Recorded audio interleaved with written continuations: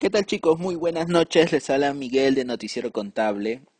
El presente video trata acerca de una interrogante que el día de hoy me, me, hizo un contribuyente eh, por teléfono, me llamó y pues me hizo una consulta. Me dice, Miguel, eh, justamente el día de hoy ha venido un fedatario de SUNAT a mi local comercial y me ha dejado un acta probatoria por no entregar comprobante de pago, me dice. Digo, pero ¿por qué no entregas comprobante de pago? Pues esa fue mi, mi, respuesta más, más directa, ¿no? Y me dijo, no, Miguel, la cajera me ha dicho que el señor compró y que ni un minuto esperó y se fue. Y que ella estaba preparando efectivamente la, la boleta y como el señor se fue ya no le pudo dar y cuando después de, unas, de unos minutos volvió y se identificó de la SUNA y me dejó el acta probatoria. Y lo que me han dicho, y ella llamó a Central de SUNA, me han dicho que me van a cerrar mi local tres días. ¿Qué puedo hacer? Esto es una pregunta que quizás muchos de ustedes también se la han hecho llegar a algunos clientes suyos o algún familiar. Y es que normalmente ahora cuando uno camina por la calle, por el centro de Lima o, en provincia, pues muchas veces ve los locales cerrados con su papelógrafo rojo, ¿no? Cerrado por no entrar comprobante de pago. Y bueno, esto es algo que pues una de las facultades justamente de SUNA, y esto está en el Código Tributario, justamente dentro de las sanciones, no otorgar comprobante pago. Por ende, eh, me quedé pensando en lo que el señor me dijo, en que el contribuyente me dijo y me dijo que el, fiscalizador no se había quedado ni un minuto. Entonces por ahí yo te podría preguntar si existe un tiempo prudente en el cual el fiscalizador debe quedarse. De repente debe quedarse tres minutos, de repente debe quedarse cuatro minutos, cinco minutos a esperar la entrega del comprobante, porque tampoco no sería que compre y a los diez segundos pues se vaya, ¿no? Es por algo de lógica. Y quizás esto sí se podría probar si de repente el centro comercial tiene cámaras y quizás con la cámara se podría probar efectivamente cuánto tiempo se quedó el fiscalizador. Entonces me puse a investigar un poquito y a buscar RTFs sobre este tema y encontré una RTF que es la 04913 de octubre del 2014. Para empezar, chicos, es una mala noticia, no es una buena noticia. He colocado la parte final justamente donde dice resuélvese confirmar la resolución de intendencia. Ojo chicos que una vez que llegue el acta probatoria, pues después de unos días le va a llegar la resolución de intendencia. Ahí donde va a figurar los tres días que te van a cerrar, o sea, qué días te van a cerrar. Y recuerden que a la resolución de intendencia ustedes pueden presentar un recurso de reclamación.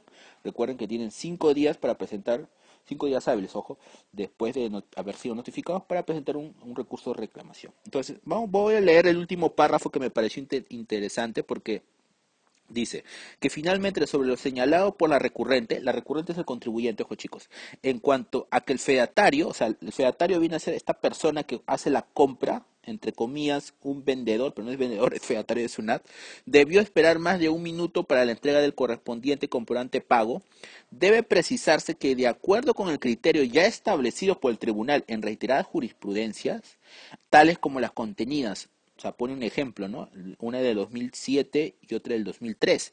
Entre otras dice que no existe, o sea, esto es muy importante, no existe norma legal que disponga un tiempo mínimo de espera por parte de los fedatarios fiscalizadores para que se pueda emitir el comprobante de pago durante las intervenciones que estos practiquen. Entonces, justamente la recurrente había, eh, dentro de sus descargos, había puesto esto, ¿no? Que el fedatario de una no se había quedado ni un minuto y por ende que de repente su cajero estaba haciendo el comprobante y no se lo pudo entregar. Entonces, esta RTF ya es totalmente clara en cuanto a este argumento no va a ser válido, no, no va a prosperar, porque como dicen, ya existen eh, otras RTF que, que han aclarado este tema. Entonces, chicos, si ustedes piensan o por ahí de repente algún cliente de ustedes les, hace mención este argumento, deben decirle que no va a prosperar porque ya hay una RTF sobre este tema. Pero ahora acá unas recomendaciones que ustedes podrían hacer, chicos, y esto ya es algo, como se dice, yo siempre le digo, ¿no? Así como, así como se valen de este vacío, de que como no hay norma que diga, pues al final el fedatario se puede quedar 30 segundos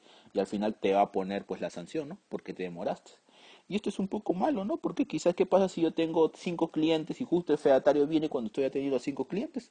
De repente yo me estoy, me estoy metiendo el comprobante al cliente 1 2 y el fedatario es una ceba y de ahí va a venir diciendo que pues que no le di comprobante de pago, ¿no? Y lamentablemente ya hay una RTF en la cual le dan la razón. Entonces, ¿qué puedes hacer tú en este, en este caso? A ver chicos, la única excepción, ojo, por el cual tú te puedes salvar de que no te cierren es la siguiente que el local sea casa habitación. ¿Cómo es esto? A ver chicos, muchas empresas prefieren que no le cierren el local y quizás pagar la multa. ¿Por qué? Porque si, tú, si vamos a suponer que tú tienes un centro comercial, ¿dónde? En Girón de la Unión, donde un local mensual está cerca de los 5 mil, 6 mil dólares mensuales. Ojo chicos, un local en Girón de la Unión está a 6 mil a 7 mil dólares mensuales. ¿Por qué lo sé? Porque firmó muchos contratos. Así que que te cierren tres días, te imaginarás cuánto de venta estás pagando. Por ende, un empresario te puede decir, ¿sabes qué, Miguel? Yo pago la multa, pero yo quiero vender tres días. Entonces, ojo, eso puede ser una respuesta de un empresario y es totalmente válido aplicando la calculadora, quizás le sale más barato las ventas, la multa que las ventas. Entonces, ojo, tú te puedes salvar del cierre si, si ese local es tu casa habitación, que a veces es muy complicado, pero por ahí que de repente si tu casa está en, en una avenida y a ti te cierran, te salvas, te lo cambian por multa.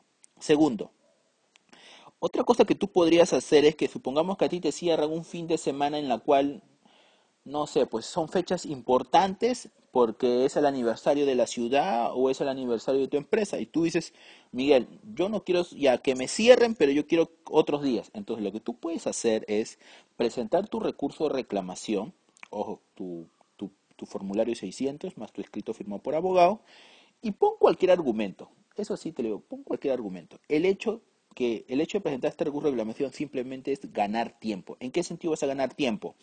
en que cuando, una vez que tú presentes tu recurso de reclamación, la SUNAT tiene 20 días hábiles para responder este recurso, que en la práctica se va a demorar por lo menos unos 30 días. ¿Y qué ganas con esto? Con esto ganas que los días que inicialmente ellos te habían puesto no se va a llevar. Entonces, va a llegar quizá a ti, supongamos que te cerraban 15, 16 y 7, llega esos días, no te cierran. ¿Por qué? Porque está el recurso de reclamación eh, eh, en, en vigencia, ¿no? Claro está que luego de transcurrir unos días te va a llegar una nueva resolución en la cual te dicen denegado tu escrito, por ende se te cierra. Y, y, y, efectivamente te van a cerrar tu local. Pero ¿qué ganaste?